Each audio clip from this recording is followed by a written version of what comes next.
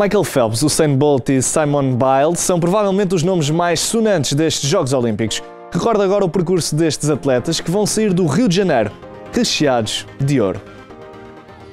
Os Jogos Olímpicos despedem-se do Rio de Janeiro no próximo domingo, mas nesta edição podemos dizer que pelo menos três atletas deixaram o seu nome na história da competição.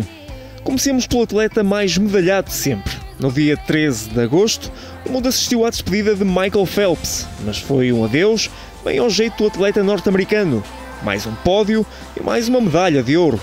A quinta nesta edição e a vigésima terceira no total de medalhas de ouro conquistadas em Jogos Olímpicos. Aos 31 anos, a garra de Phelps deixou-o junto dos maiores atletas de sempre. Recordes que certamente não serão facilmente batidos. Da água para a pista tartan, Usain Bolt é sem dúvida o homem mais rápido do mundo e enquanto está ocupado a deixar os rivais para trás, nunca esconde o sorriso de quem realmente gosta daquilo que faz.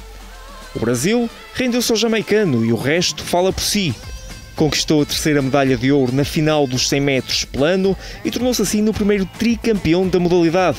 No final destes Jogos Olímpicos, o atletismo vai ficar mais pobre com a despedida do atleta de 29 anos, mas a lenda Bolt ficará para sempre na história.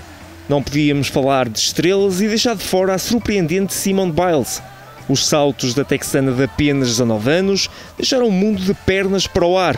Revolucionou a ginástica e deixou as adversárias a questionarem se poderiam travar a ginasta mais irrequieta desta competição.